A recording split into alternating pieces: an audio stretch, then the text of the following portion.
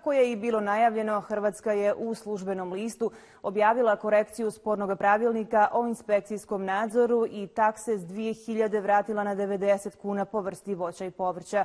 Njen potez izazvao je bijes u regiji, pa su se odmah zahtijevale kontramjere. Osim poljoprivrednika, ako se ovakva situacija ponovi, kontramjere traži i udruženje poslodavaca. Odgovor nisu dobili jer je vlast na odmoru, a samo rijetki su još uvijek u Bosni i Hercegovini.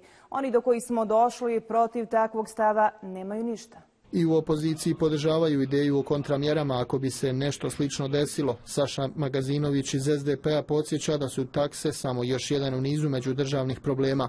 I dalje imamo nejasan status naših vodnih resursa koje koristi Hrvatska na Buškom jezeru, Pelješki most, odlagalište opasnog otpada. Smatram da sva ta pitanja treba otvoriti, uključiti javnost, stručnu javnost da u Bosni i Hercegovini da pomogne u njihovom rješavanju, i mnogo je to korisnije nego zajedničke preskonferencije i tapšanje po ramenu i, i, i saopštavanje javnosti da su da između država su odnosi koji se mogu nazvati med i mlijeko, a to zapravo u stvarnosti nije tako.